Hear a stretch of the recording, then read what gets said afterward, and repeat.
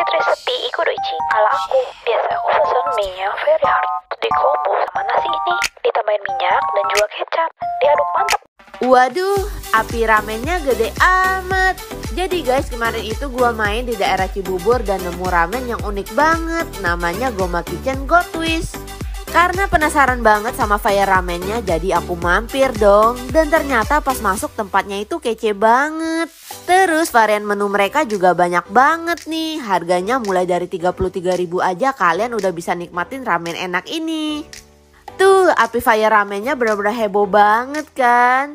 Langsung aja kita cobain fire ramennya. Wah, ternyata rasanya itu enak banget. Minyak itu kenyal, lembut, kuahnya juga gurih banget.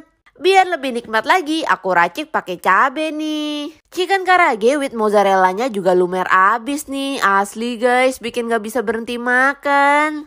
Next ada ramen terbangnya juga nih. Ini tuh gak kalah enak loh. Dan terakhir ada gyozanya juga. Buat kalian yang penasaran langsung aja mampir. Waduh, ada Rami Hidden Gem yang ada di Alam Sutra. Tempatnya itu tepat ada di sebelah gedung segede ini guys. Nyangka nggak sih? Jadi ini tuh namanya Sai Ramen yang lagi hits banget di Alam Sutra nih. Tempatnya itu kece banget, bener-bener berasa makan ramen langsung di Jepang. Nah, di sini tuh untuk varian menu favoritnya ada original, miso, dan kari. Menu yang aku cobain ini ramen kari dan miso.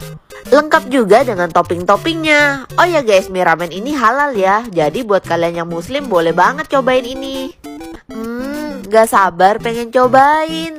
Makan.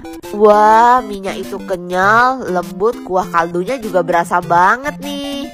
Kalau makan mie ramen harus banget langsung dimakan anget-anget kayak gini Asli guys bikin gak bisa berhenti makan Oh ya selain itu aku juga cobain gyozanya nih Tapi aku lebih suka ramennya guys So buat kalian yang penasaran langsung aja mampir ya